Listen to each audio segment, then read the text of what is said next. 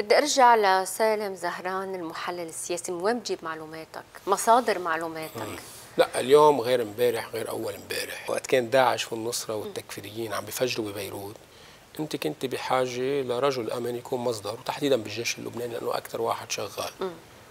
مين كان مصدرك وقتها؟ كان ما بتعرفي الصحفي ما له حق يسمي بس كان ضابط كبير بالجيش اللبناني طب بالملف السوري من وين بت... وين مصادرك بسوريا؟ بسوريا يعني اللي بيعرفوا بالوضع بسوريا سوريا فيها نسبة تحليل أكثر من نسبة معلومات لأنه الدولة السورية هي إذا بدك بالمعلومة أصعب وأنا ماني خب يعني ماني معلق عسكري أو أنا معلق استراتيجي بحكي باستراتيجية في يكون وزير الإعلام في يكون ضابط كبير في يكون وزير. أنا صاحبي مع نص مجلس الوزراء بسوريا مثل ما أنا صاحبي مع يعني نص مجلس الوزراء الناس دائما يعني كمان حسب الخبر. يعني شو هو الخبر؟ بتدوري على المصدر. يعني بالانتخابات السورية ما تركت مقابلة هلا إيه بس إذا بتنتبهي لهم هن هن مش متكلين على المعلومة قبل ما هن متكلين على القراءة السياسية. علاقتك مع الفنانين؟ شوي هيك ب... لا هي يعني لا ما هي الناس ما بي يعني إنه نوال الزغبي ما بيعرفوا الناس. أنا بعرف الفنانين قبل السياسيين أنا بالإذاعة. بس ما السياسة فرقت هالناس كلها عن بعضها واحيانا أنت على علاقة مع فنانين يمكن على خصومه سياسيه معهم. بحياتي الشخصية أصدقائي هن من كل التيارات ومن كل الأجواء وبفصل حياتي الشخصية عن ابدا عن حياتي السياسية. نحن بشر بالآخر. بالعكس أنا بستمتع مع الناس اللي هن من الرأي الآخر وأنا بستمتع أكثر بالجلسات اللي ما فيها نقاش سياسي. مين أكثر فنان قريب لقلبك أو فنانة. نوال الزغبي نوال أخت و...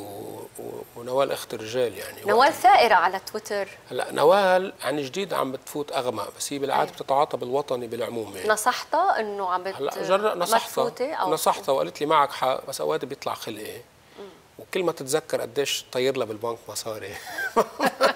بفهمها بفهمها. يعني قلت لها ما تعملي مثلا إيه مثلا شوفي. اليسا بتعطي مثلا شوفي وائل كفوري. ماشي برات السياسة. بيربح هالشيء أو بخسر أكيد بيربح لأنه بيربح. وأنا أنا نوال لأن أختي نصحتها قلت لها شو بدك بهالشغله حتى معنا ما تعطي بنصيحتك؟ بتاخذها جمعة وبترجع تنفعل. بترجع بتنفعل. بس تتذكر المصريات. تتذكر المصريات ويطلع راغب علامه بيعطي رأيه بالسياسة ويهاجم. لا راغب إن بالسياسة يعني راغب أكثر من مرة. بس يهاجم راغب؟ راغب أكثر من مرة انطرح وزير بتتذكري ومرات انطرح نايب.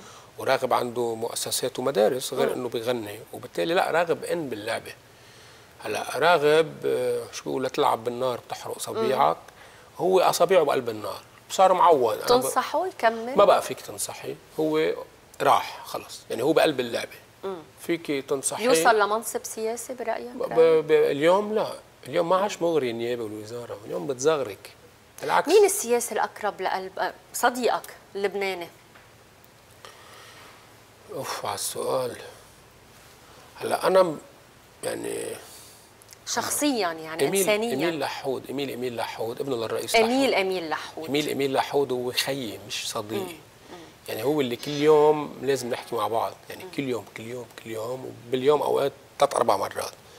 اميل رفيق واميل جدع و... بسوريا مين صديقك سواء من الفنانين أو من السياسيين؟ فنانين محمد خيري أبو نصر صديق وخي ورفيق وحبيب والسياسيين هيك على السؤال. بدي جواب. أنا والدكتور نزار اليازي أصحاب كثير اللي كان وزير صحة وهيك في علاقة خاصة بيناتنا بس؟ لا في كتار بس. بس الأقرب لقلبك. نزار أقرب شيء ما في مقابلة بيطلع فيها سالم زهران ما بضيف شيء ما بيعمل فرقعه أو سكوب. بالعالم العربي عم بيشوفونا كمان. وقفت قدامك هيك خبرت قصتي مثل ما هي بدون رتوش. يعني ما ضل مطرح للسكوب إلا إذا بتسأليني سؤال محدد بجاوبك جواب محدد. ما بعرف وقت ال... يعني أعطينا شيء عن سالم زهران بعيدا عن السياسة بعيدا عن التحليل. أه بتحب الناس تعرفوا عنك وما بتعرفوا ما قدرت بولا مقابلة توصلوا أنا بعتقد إذا ب... لو طفولتي كانت مسجلة كل اللي بيكرهوني مش شرط يحبوني بس كانوا رح يحترموا هذا الولد اللي اللي كان عمره 11 سنة. ويشتغل 12 ساعة ليقدر يتعلم وياكل هو امه هيدا هيدي هيدي الطفولة بحس أنا لو إنها مصورة حق يعني هيك مثل ما هي كانت فرجت حقيقة صورتي. أنا مؤمن إنه الإرادة والتصميم صح؟ حده ما بده يجيك حظ وتوفيق. هلا بتسميه دعاء الأم بتسميه ما بدك إياه. هولي مع بعضهم خلطة يوصلوك. الله يوفقك. الله يحفظك وأنت كمان كتير. أخت. وصديقة من من الزمن الجميل. أنا على عكس ما كل الناس بتفكر.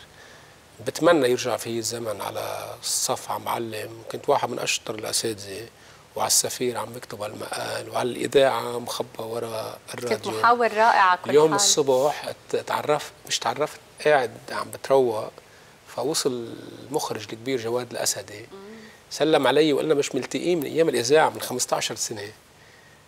بالاول ما عرفته بعتذر منه على الهواء بعدين دغري عرفت قلت يا ريتني بعدني ضيف وحاور جواد على الهواء لا الناس بيفكروا إنه اللي نحن فيه شيء منيح. لا اللي نحن فيه هو أسوأ شيء ورابعة أنت عشتيهم أو أحيانا بتعملي موقف مش قصدك فيه شيء بتتعرضي لتنمر ولتجريح وهلأ أولادنا صاروا كبار وبفوتوا يقروا. زمن ال social يعني ميديا آه، القاسي للأسف وفتح الباب للناس من هب ودب. آه، بس دائما الرب بيشوف القلب ما بيسمع بس الصوت واللسان. لهيك بعتقد عم بتوفى لأنه اللي موجود بالسماء بيعرف شو في جواتي. الله يوفقك. ميرسي إلك شكراً. وميرسي لهالمحطة شكراً. وأنا فخور إني معك رابعة وفخور إني بلنا شرف هالمحطة. هيك اللي اللي عاملة تركيبة بتشبهني. عاملة فرق. تركيبة بتشبهني اللبنانية السورية. أنا وطفلة تأثرت كتير بفيلم داوود على الحدود لدوريد لحام بحس حالي مثل داوود علقان ب 12 كيلومتر بنص تحية بين لبنان وسوريا. كثير دورات لحام أستاذنا وحبيبنا. شكراً لك. وميرسي لديانا لنضال هالعين الحلوة. وان شاء الله نكون خبرنا قصتنا. كتير حلو اللي حكيته. جربت أتعرف وعرفكم على شخصية جديدة من سالم زهران اللي بتعرفوه. ما بعرف إذا نجحت.